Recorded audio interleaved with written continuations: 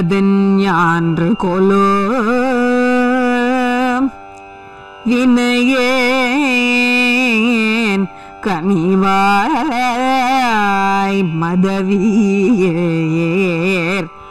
பண் குரல் வண்டினொடு குரல்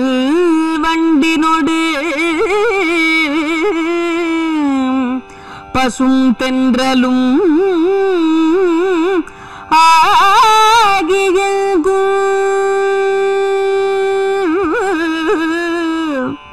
ஆகியெங்கும்.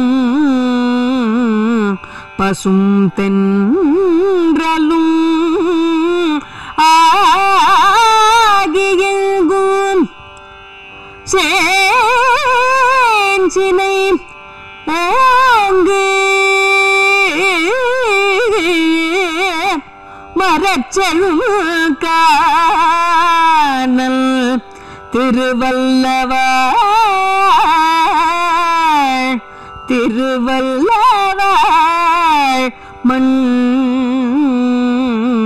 குரல் கோலப்பிரான் மலர் தாமரை பாதங்களே. மலர் தாமரை பாதங்களே.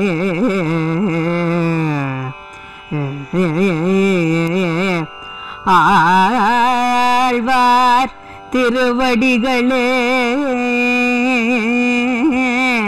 శరణం.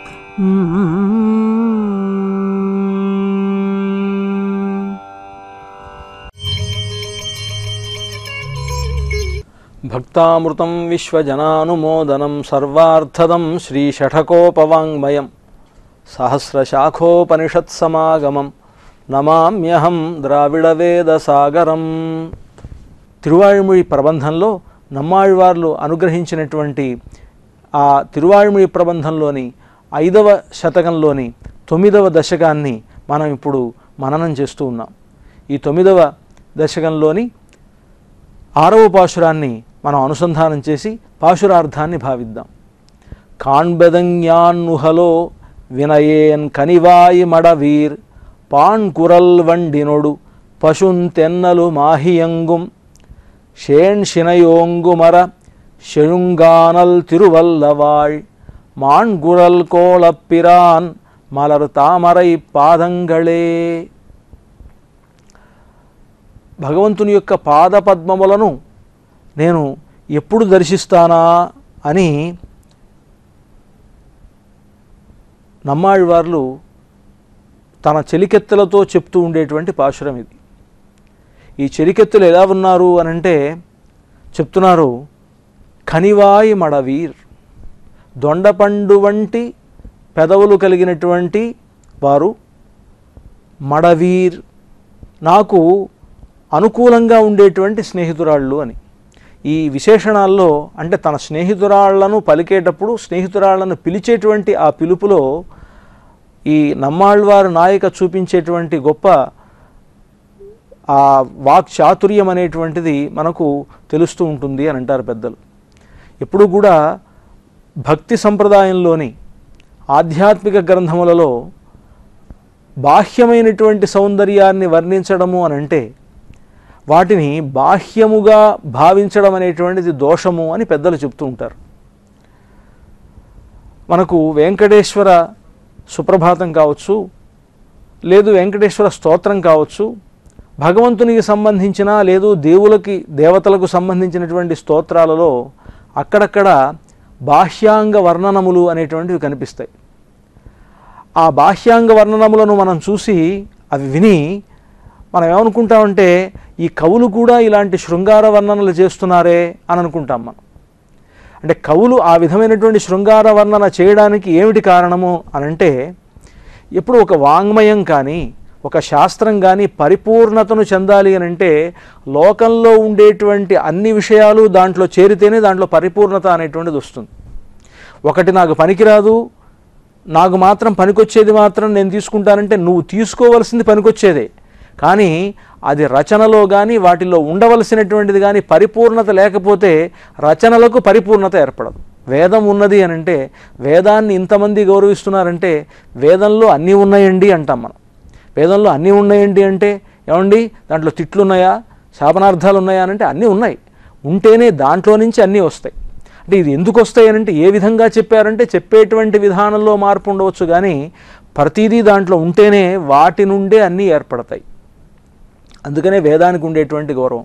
భారతంలో భారతం గురించి చెప్తూ వ్యాస మహర్షి భారతాన్ని తాను రచించినటువంటి భారతం గురించి చెప్తూ ఎదిహాస్తి తదన్య తదన్యత్ర ఎన్నేహాస్తి నతత్వచిత్ అని అంటారు. అంటే దీంట్లో ధర్మ అర్థ ధర్మము అర్థము కామము మోక్షము వీటికి సంబంధించినవన్నీ కూడా దీంట్లో ఉన్నాయి భారతంలో ఉన్నాయి. ఎదిహాస్తి తదన్యత్ర. ఈ భారతంలో ఉండేవే అన్ని చోట్ల ఉన్నాయి. ఎన్నేహాస్తి తతత్వ నతత్వచిత్. ఇక్కడ ఏదైతే లేదో లేనటువంటిది ఎక్కడా లేదు అని అంటారు. అంటే భారతానికి ఉండేటువంటి గొప్పతనం అది కదా. అంటే దాంట్లో ఏమీ లే- దాంట్లో లేనివి ఇంకో చోట లేవంటే మనం చెడు అనుకున్నా మంచి అనుకున్నా అంతా దాంట్లో ఉన్నాయి. ఆ భారతంలో దుర్యోధన దుర్యోధన దుశ్శాసనాది దుర్మార్గులు ఉన్నారు. ధర్మరాజు అర్జునుడు వంటి మంచివాళ్ళు ఉన్నారు. కృపాచార్యుడు ద్రోణాచార్యుడు భీష్మాచార్యుడు లాంటి పెద్దవాళ్ళు ఉన్నారు. వ్యాసుడు శుకుడు మొదలైనటువంటి మహర్షులు ఉన్నారు. ఇంతమంది ఉండేటప్పటికీ వీరందరికీ సంబంధించినటువంటి అంశములు భారతంలో ఉంటాయి కనుక దాంట్లో మంచి ఉంటుంది చెడు ఉంటుంది. మనం దాంట్లో ఉండేటువంటి మంచిని గ్రహించి మనం ధర్మరాజులాగా ఉండాలి అర్జునుడిలాగా ఉండాలి లేకపోతే కృపాచార్యుడిలాగా ఉండాలి భీష్మాచార్యుడిలాగా ఉండాలి అని అంటే భగవంతుని యొక్క అనుగ్రహాన్ని పొందుతాం. దుర్యోధనుడిలాగా ఉండాలి కర్ణుల్లాగా ఉండాలి దుశ్శాసనుడిలాగా ఉండాలంటే అలా అయిపోతాం. కనుక మనం గ్రహించవలసింది గ్రహించాలి. అంటే పరిపూర్ణత అనేటువంటిది ఒక రచనలో ఏర్పడాలి అని అంటే దాంట్లో సమస్తమైనటువంటి విషయాలు ఉండాలని. అంతేకాకుండా కవిత్వంలో నవరసములు అని అంటారు కదా నవరసాల్లో శృంగారం అనేటువంటిది కూడా ఒక రసం. ఆ శృంగారం అనేటువంటి రసం ఆ కవిత్వంలో లేకపోతే దాంట్లో పరిపూర్ణత అనేటువంటిది ఉండదు. అందుకని అమ్మవారిని ఎవరైనా సరే స్తోత్రం చేసినా చతుర్భుజే చంద్రకళావతంసే కుచోన్నతే కుంకుమ కుంకుమరాగ శోణే అని అమ్మవారిని ధ్యానం చేసేటప్పుడు ధ్యానంలో కుచోన్నతే కుంకుమరాగ శోణే ఉన్నతమైనటువంటి వక్షస్థలము కలిగినటువంటిది అమ్మవారు అని కీర్తిస్తారు. ఆ మాత్రం చేత అక్కడ వాళ్ళు అమ్మవారిని ఆ విధంగా వర్ణించవచ్చా అని మనం భావించడానికి వీల్లేదు. అంతేకాకుండా ముఖ్యంగా వేదాంతమైనటువంటి పద్ వేదాంతమైనటువంటి విధానంలో వేదాంత పద్ధతిలో మనం వీటినన్నిటి కూడా అర్థం చేసుకోవాలంటారు. వెంకటేశ స్తోత్రంలో కూడా కమలాకుచ సూచక కుంకుమతో నియతారుణితాతుల నీలతను కమలాయత లోచనలోకపతే విజయీభవ వెంకటశైలపతే అని ప్రతివాద భయంకర అన్నన్ లక్ష్మీదేవి శ్రీనివాసుడు వీళ్ళిద్దరూ కూడా కౌగిలించుకుంటే ఆ లక్ష్మీదేవి వక్షస్థలానికి పూసుకున్నటువంటి కుంకుమ ఆయన వక్షస్థలానికంటి నీలంగా ఉండేటువంటి ఆయన దేహం ఎర్రగా మారింది. అని అంటారు. అంటే ఆ మాత్రం చేత అక్కడ శృంగారాన్ని వర్ణించినట్టు అర్థం చేసుకోకూడదు. అక్కడ ఇద్దరు ఆది దంపతుల యొక్క ప్రణయం ఒకటి అర్థం చేసుకోవాలి. ముఖ్యంగా భగవంతుడు తన భక్తుల విషయంలో ఏ విధమైనటువంటి సంశ్లేషాన్ని కలిగి ఉంటాడో అర్థం చేసుకోవాలని పెద్దలు చెప్తారు. అంతేకాకుండా కొన్ని నియమాలు చెప్తారన్నమాట.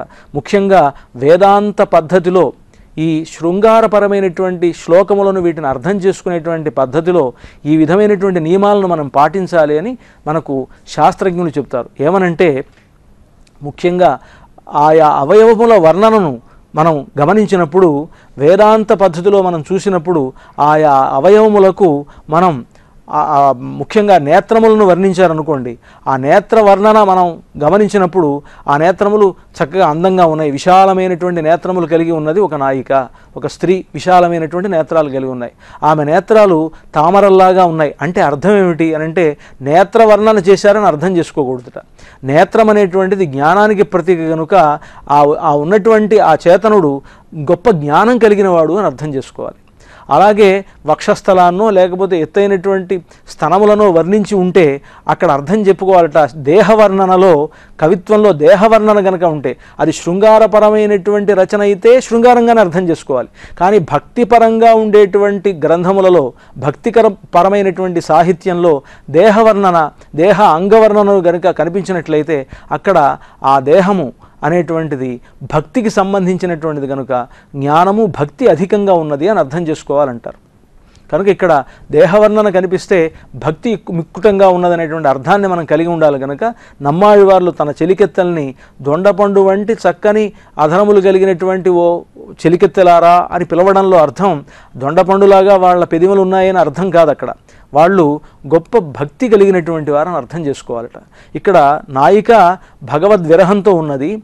ఈ భగవద్విరహంతో ఉండేటువంటి నాయికను అడ్డగిస్తూ ఉన్నారు చుట్టూ ఉండేటువంటి స్నేహితురాళ్ళు. ఈ నాయిక తిరువల్లవాయ అనేటువంటి ఆ దివ్యదేశంలో ఉండేటువంటి స్వామితో సంశ్లేషించాలని తొందరలో ఉన్నది. అలా వెళుతూ ఉండేటువంటి ఈమెను నువ్వు తొందరపడకు నువ్వు తొందరపడకుండా ఆయన వచ్చినప్పుడే ఆయన అంగీకరించు అని వీళ్ళు అడ్డగిస్తూ ఉన్నారు. ఇలాంటి సందర్భంలో ఈ నమ్మాళ్వార్ నాయిక చెప్తున్నటువంటి పాశనంలో కాణ్బెదన్యాన్నుహలో కనివాయి మడవీర్.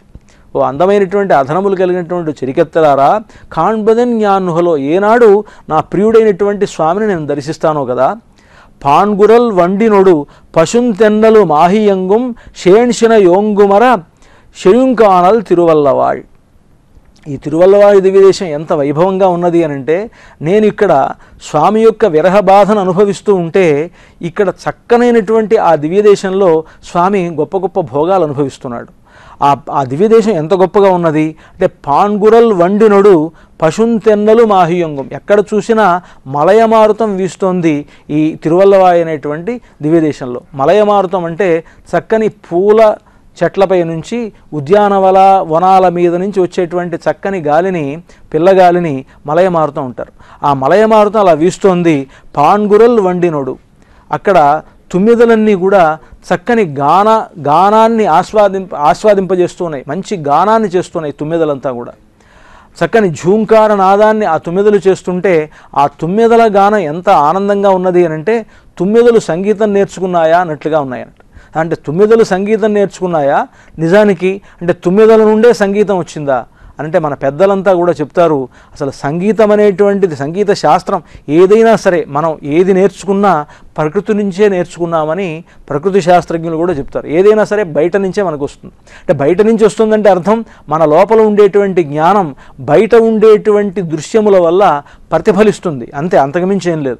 ముఖ్యంగా మనం సంగీతం ఎలా నేర్చుకుంటాం? అంటే సంగీత స్వరాలు ఉన్నాయే. సంగీతం సారి గామ అనేటువంటి సప్తస్వరాలు ఉన్నాయి. ఈ సప్తస్వరాల వల్ల ఒక సంగీతం ఏర్పడుతుంది. ముఖ్యంగా సప్తస్వరాలను ఇదే పద్ధతిలో పలికినా ఇంకొక పద్ధతిలో పలికినా ఆ ధ్వనులన్నీ కూడా అన్ని సంగీతాల్లోనూ అంటే ఇటు భారత భారతీయ సంగీతమైనా అటు పాశ్చాత్య సంగీతమైనా అన్నిటికీ వాటికి ఉండేటువంటి ధ్వనులన్నీ కూడా ఒక రకమైనటువంటివి.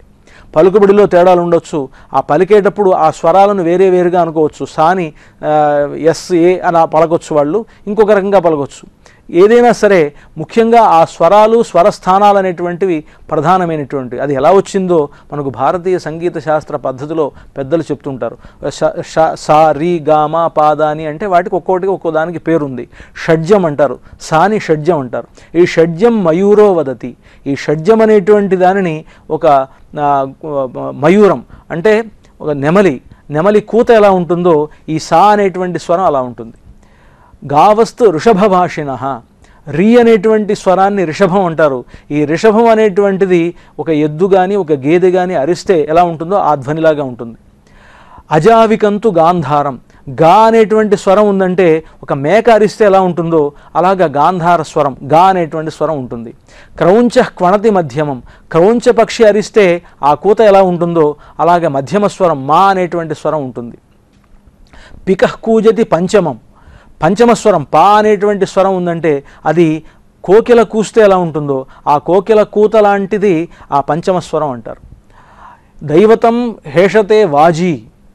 ఒక దా అనేటువంటి స్వరం ఉందంటే గుర్రపు సకిలింత ఎలా ఉంటుందో ఆ గుర్రపు సకిలింతలాగా ఆ దైవత స్వరం అనేటువంటిది ద- దా అనేటువంటి స్వరం ఉంటుంది.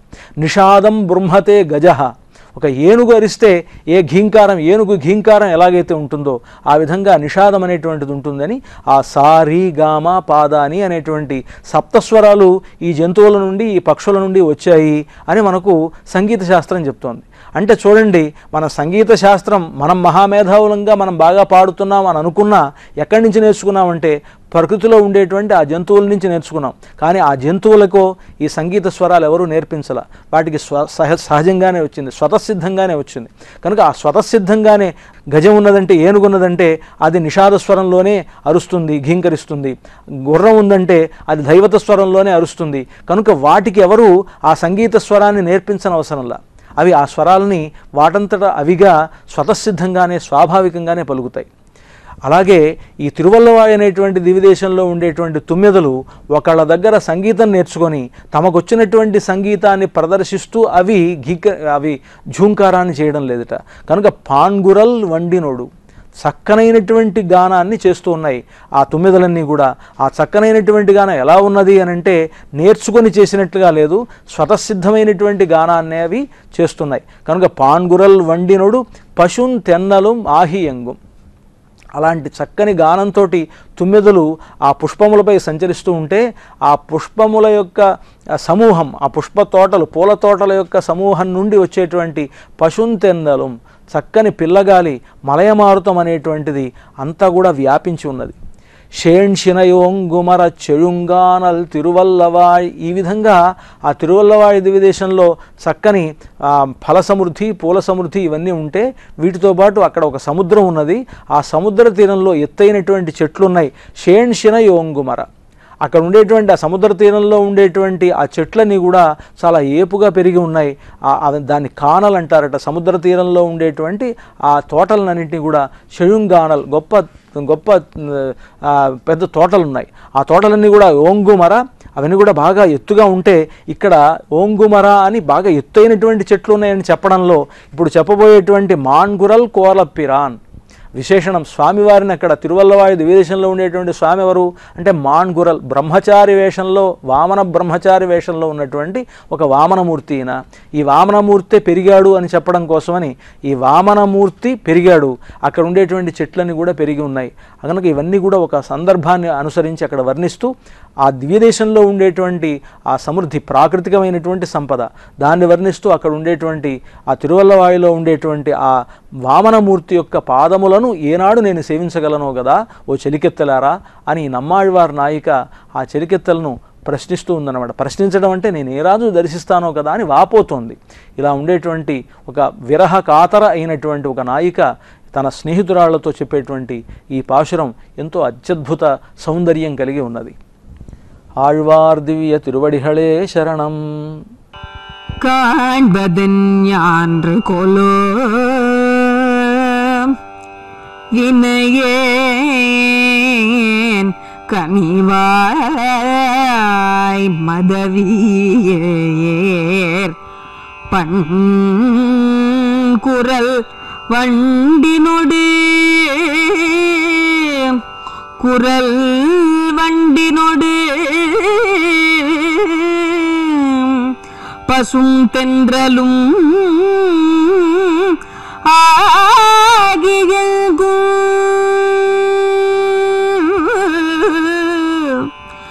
ஆகியெங்கும் பசும் தென்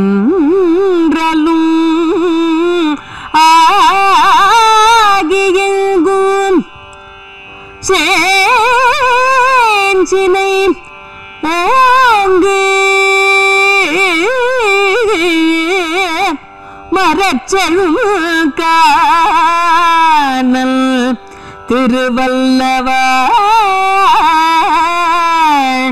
திருவல்லவாள் மண்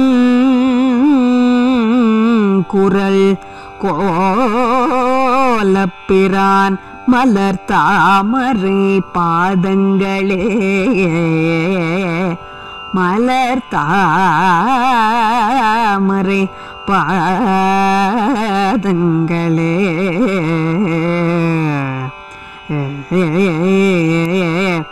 ஆழ்வார் திருவடிகளே.